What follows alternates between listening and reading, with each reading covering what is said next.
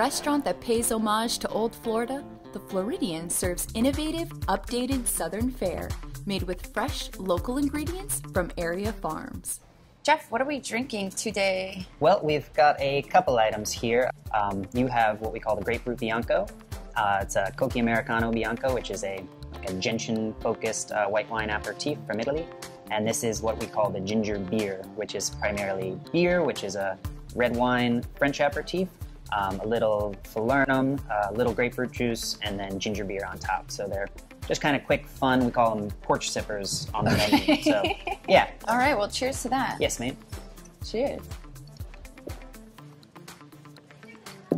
So, when did you guys open? It'll be uh, four years this summer. It was a Labor Day weekend, 2010. Okay. So And it's you and your wife are a team here? that's right. She is the she's the chef and the kitchen manager. Um, so yeah, we are the team at the moment with um, a bunch of very helpful staff members as well and friends. How did you decide to start this restaurant?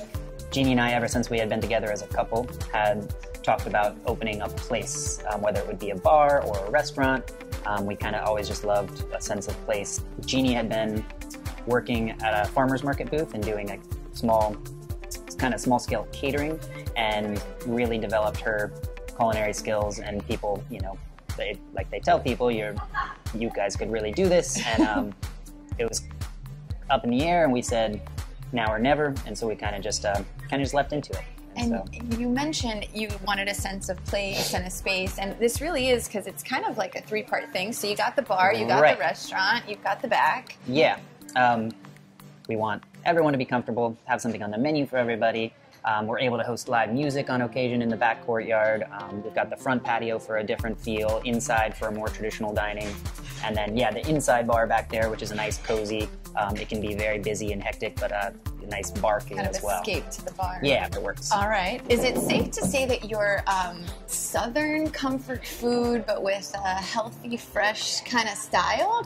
We call it innovative Southern fare. Okay. Um, and then our tagline for omnivores, herbivores, and locavores. Um, Right. Having vegetarian options and even vegan options on the menu was very important from the beginning. And gluten intolerant. Genie happens to be uh, gluten intolerant herself, Oh, so okay. she still wants to make delicious things. Uh, if you look at our entrees now, actually, there's two of them that are not gluten free, and um, for a menu like ours, it's it's and you would never guess. It almost doesn't matter. They just happen to be gluten free. So we're happy to offer offer those alternatives for people. So You guys source from several farms. I read, the last thing I read was 12. Is it still 12? it still probably hovers. It's a lot, yeah, and that makes Genie's job both um, interesting and rather difficult as far as inventory, ordering, pickup, drop off. Um, number of farms we go to the market to pick up from.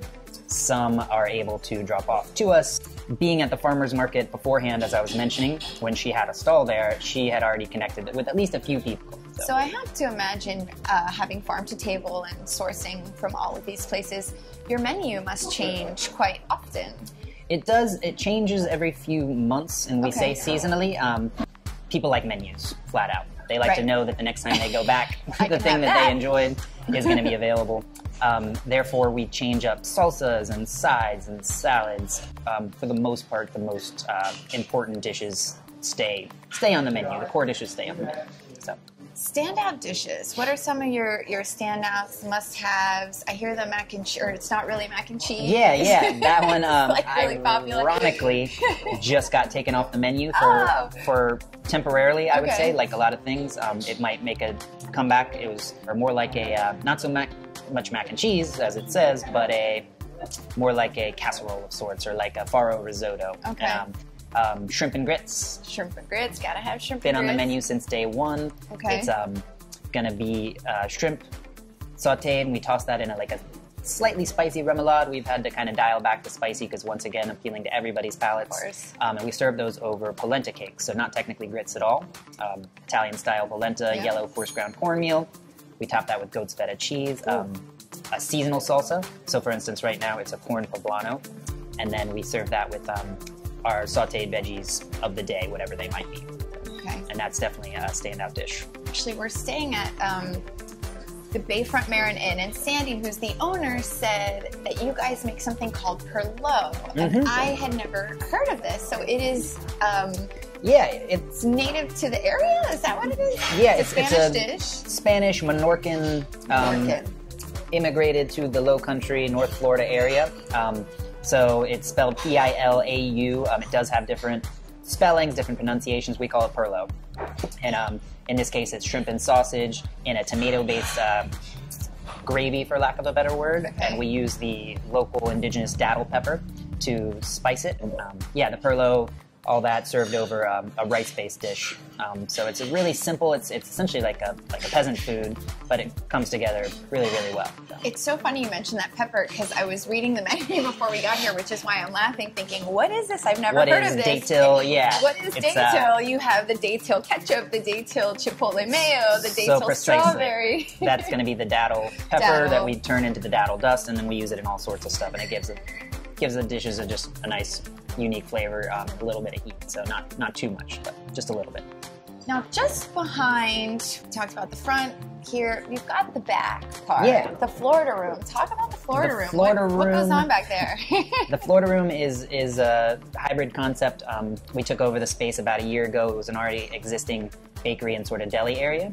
Okay. If you walk into the Florida Room, that's going to be um, it's a little coffee shop, deli, bakery. So we've got prepared sandwiches, more like grab and go, quick style stuff. Um, really nice espresso. Um, and then uh, six beers on tap, wine. So it's it's many different things at the moment. You can go and buy Sweetwater coffee by the pound, um, and it's also an evolving concept as as everything is. Sort of, um, we'd like to feature more market goods back there eventually, and um, do a little more breakfasty type stuff eventually. So it's still it's still moving forward as well. yeah, it's funny. Sean mentioned, you know, this is a very unique uh, place, St. Augustine. Nobody honks. Everybody's polite. Yeah. It's like a cute little quaint town. That's for sure. Um, it has its uh, it has its charm. You know, sometimes so charming that you are stuck in traffic behind a horse and buggy for 30 minutes, or a or a trolley car full of people. But yeah, it all Just goes patiently into wait. Yeah, precise. Yeah, yeah. We couldn't do. Um, we are.